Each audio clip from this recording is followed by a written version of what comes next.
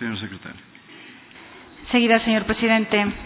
Quito, 5 de julio de 2017, oficio número 031 MMCAN 2017, asambleísta José Serrano Salgado, presidente de la Asamblea Nacional, en su despacho de mi consideración en mi calidad de asambleísta nacional y amparada en el artículo 129 de la Ley Orgánica de la Función Legislativa, solicito a usted se sirva a realizar un cambio del orden del día en la sesión del Pleno número 464 a realizarse este jueves 6 de julio de 2017 con la finalidad de que se incorpore como segundo punto del orden del día el debate y la aprobación de la resolución de respaldo al llamado de diálogo nacional establecido como política prioritaria de gobierno del presidente de la República, Lenín Moreno Garcés Texto que adjunto a esta comunicación. Atentamente, María Mercedes, Mercedes Cuesta, asambleísta nacional. Hasta ahí el texto, señor presidente.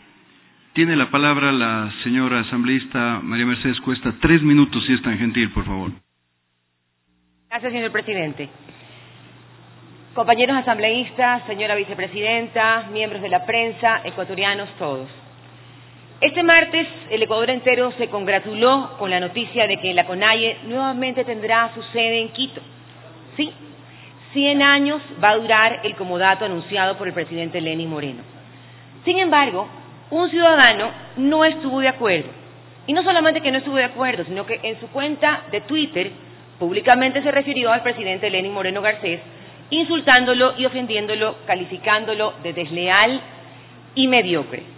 Parece que ese ciudadano no entiende que se acabó el discurso del odio y que ha renacido el discurso de la reconciliación. El 20 de junio de 2017 en Guayaquil el presidente Lenin Moreno Garcés firmó el decreto número 49 declarando como política prioritaria de gobierno el fortalecimiento de los espacios de participación ciudadana y el diálogo amplio, amplio y permanente con todos los sectores de la sociedad, hasta los más diversos del país. Y eso eso es coherencia, compañeros. Porque el diálogo no solamente se da entre los amigos, entre los que estamos de acuerdo, entre los que aplauden lo que decimos. El diálogo de una nación se construye con todos los ecuatorianos y para eso hay que escuchar a todos los sectores de la sociedad, incluso a los que piensan distinto. Hace pocos minutos hablaba mi compañero Pavel Muñoz y seguramente más adelante, porque se suspendió la sesión, Aprobaremos esta hoja de ruta para la Asamblea Nacional en donde se prioriza el diálogo y la apertura a todos los sectores sociales. ¿Y cómo no aprobarla, Pavel? ¿Cómo no apoyar el diálogo? Y el diálogo que usted, señor presidente José Serrano, ha dicho en varias ocasiones, de brazos abiertos para todos los sectores. Yo pertenezco a una bancada, la bancada de integración nacional, muy diferente. Tuvimos tres candidatos a la presidencia de la República de los más diversos sectores del país. El día de hoy, el presidente de todos los ecuatorianos es el licenciado Lenin Moreno Garcés. Y por lo tanto, no solo tenemos que apoyar esta propuesta de diálogo, sino que debemos rechazar la violencia, venga de quien venga. Los ecuatorianos estamos cansados de los enfrentamientos, del insulto, de los calificativos peyorativos. Queremos un país en donde prime el respeto, la paz y el trabajo conjunto por el bien del Ecuador. El país está expectante en esta Asamblea Nacional y en nuestro trabajo. La Asamblea debe ser la guardiana de la democracia. El éxito de Lenin Moreno no es el éxito de Alianza País o de un solo partido, es el éxito de todos los ecuatorianos que se va a traducir en beneficio de todas nuestras familias.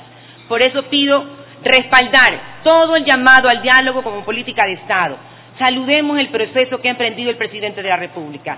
Rechacemos las declaraciones ofensivas del expresidente en contra de la política de diálogo y reconciliación nacional y, sobre todo, repudiemos cualquier acto de violencia política, en especial los que buscan desestabilización del camino al reencuentro nacional. Los ecuatorianos demandamos reconciliación y unidad ahora y a eso quiero invitarlos a todos, queridos compañeros y compañeras. Buenos días. Muchas gracias, señora Asamblea. Sirva a tomar votación, por favor, señora secretaria. Enseguida, señor presidente. Señoras y señores asambleístas, por favor, sírvanse registrar en su curul electrónica. De existir alguna novedad, por favor, informar a esta secretaría.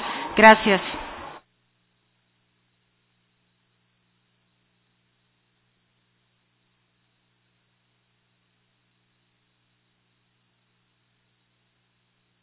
Señores asambleístas, por favor.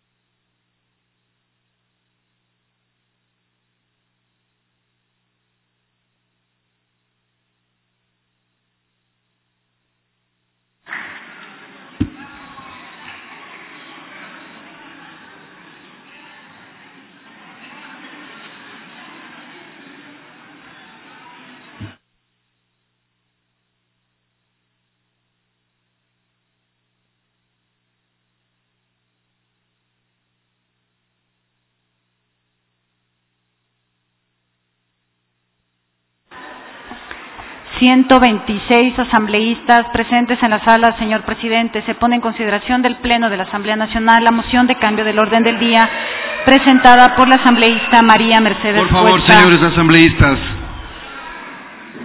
Señoras y señores asambleístas, por favor, consignen su voto.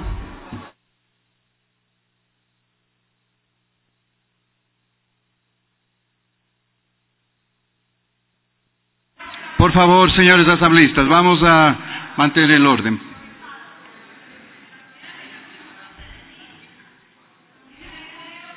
Por favor, señoras y señores asambleístas. Señor operador, presente los resultados. 54 votos afirmativos, 63 negativos, 0 blancos, 9 abstenciones. No ha sido aprobada la moción de cambio Primer del punto orden del del orden del día, señora asambleísta, eh, señora secretaria. Primero, himno